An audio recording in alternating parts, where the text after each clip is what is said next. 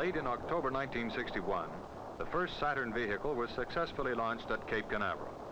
Three days later, the Office of Manned Spaceflight was formed.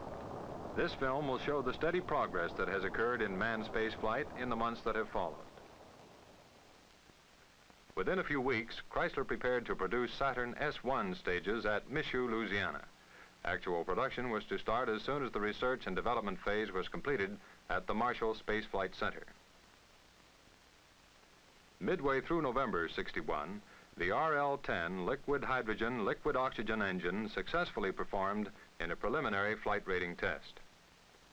Nine days later, NASA selected North American Aviation to design and build two units, the command and service modules of the Apollo spacecraft that will be employed in the first exploration of the moon. At the close of that month, a spacecraft carrying a chimpanzee named Enos made two orbits around the Earth. Early in December, NASA put its final approval on Project Gemini, a two-man spacecraft program specifically designed to provide experience in long-term weightlessness and rendezvous procedures. Then on December 15th, the Boeing industrial team was chosen to produce the giant first stage of the Saturn V at Michoud. Within days, engineers from Douglas Aircraft began work on modification of the Saturn S4 stage for use in the third stage of Saturn V. At this time, the second stage was already under contract, and the configuration of the Saturn V launch vehicle was firmly established. The first stage was five F-1s, the second stage was five J-2s, and the third stage was one J-2. On December 21, the Office of Manned Spaceflight held the first meeting of a management council established to assure thorough coordination of all manned spaceflight activities. January of 1962 saw Aerojet General start development work on the M1. This liquid hydrogen, a liquid oxygen engine will be capable of developing a million, 200,000 pounds of thrust. Early in February, NASA selected General Electric to supply equipment at Merritt Island, Florida for integrated space vehicle checkout and to support NASA in its reliability assessment and integration analysis. On February 20th, astronaut John Glenn went into orbit to circle the Earth three times. Two days later, Bellcomm Incorporated was signed to provide overall systems engineering support for the manned spaceflight program. To improve interagency communications, the Air Force established a liaison office with the Office of Manned space flight through the appointment of a deputy commander, Major General Ritland. Before the end of the month, a mock-up of the Gemini capsule was completed at the McDonnell plant in St. Louis. Also in March, the NASA Manned Spacecraft Center moved from Langley Field, Virginia, to Houston, Texas. On the 25th of April, the second Saturn was successfully launched. This included an experimental test explosion of water-filled tanks at high altitude at the end of the flight.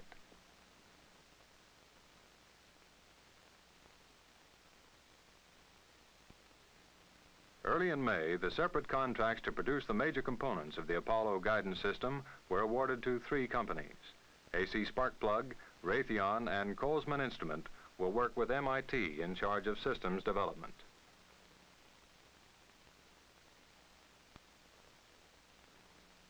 About the same time, Convair was chosen to design and manufacture Little Joe 2, a launch vehicle for Apollo spacecraft suborbital test flights.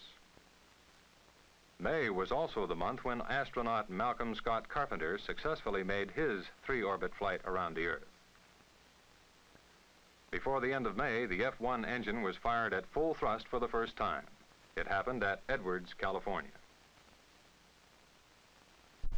Moving into June, the Green Hut Construction Company contracted to modify the Saturn test stand at the Marshall Center. The modification provided two test positions. Shortly afterwards, a computer center to service the Michoud operation was established at Slidell, Louisiana. On July 11th, Space Administrator James E. Webb announced the decision to base the planning, research, development, and procurement of its space program on a lunar orbit rendezvous mode of flight to the moon. The vehicle was informally named the Bug. With this planning decision for Lunar Orbital Rendezvous, NASA authorized an improved launch vehicle, the Saturn 1B, and instituted studies of a NOVA vehicle larger than previously contemplated. A few days later, it was announced that the new control center located at the Manned Spacecraft Center in Houston, Texas, would be the primary Earth station for the control of manned space flight missions. Shortly after, IBM was awarded a contract to develop and supply the computer facility for the Mission Control Center. On July 21st, the design of the Saturn V launch complex was selected to include a vertical assembly building and an earth crawler to carry the 350-foot vehicle to the launch pad in an erect position. Off the California coast, the first full-scale model of Apollo spacecraft underwent a successful preliminary flotation test in August. September 17, 1962, the selection of nine new astronaut candidates was announced in Houston.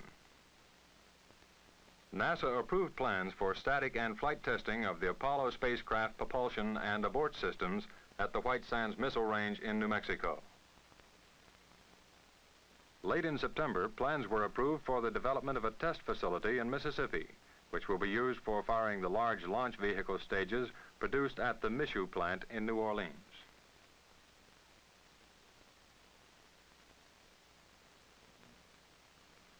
On October 3rd, Walter Schirra successfully orbited the Earth six times. He made his landing in the Pacific Ocean.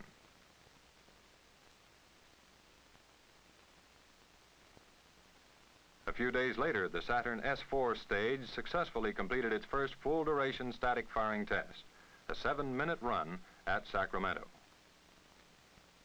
At this time, teams from Hamilton Standard and International Latex were contracted for work on the development of spacesuits for Apollo spacemen.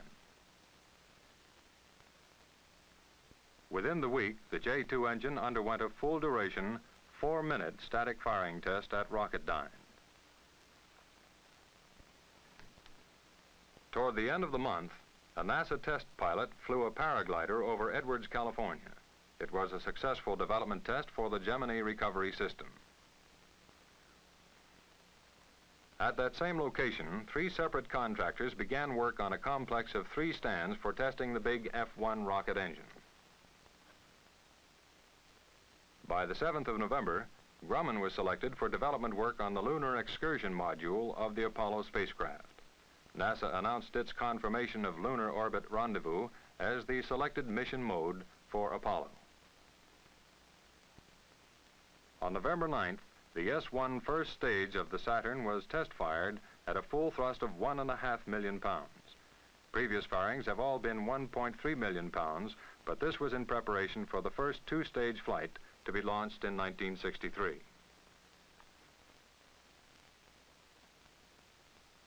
On November 14th, astronaut Gordon Cooper was selected for a one-day orbital flight to take place this spring.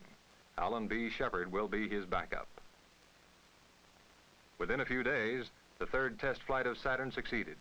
This included a second high water explosion. At the Marshall Space Flight Center, the Saturn IV stage arrived for dynamic tests.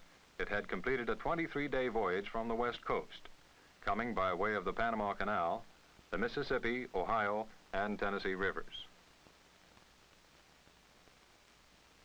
Late in the month, the first successful firing of a development engine for the Apollo spacecraft service module took place at the Aerojet General plant. In December, NASA contracted with the Army Corps of Engineers to study the problems involved in constructing a base on the moon. At the end of 1962, North American Aviation completed the fabrication of an Apollo command module. It was delivered to Northrop for installation of the parachute landing system and will be used in the first unmanned flight test.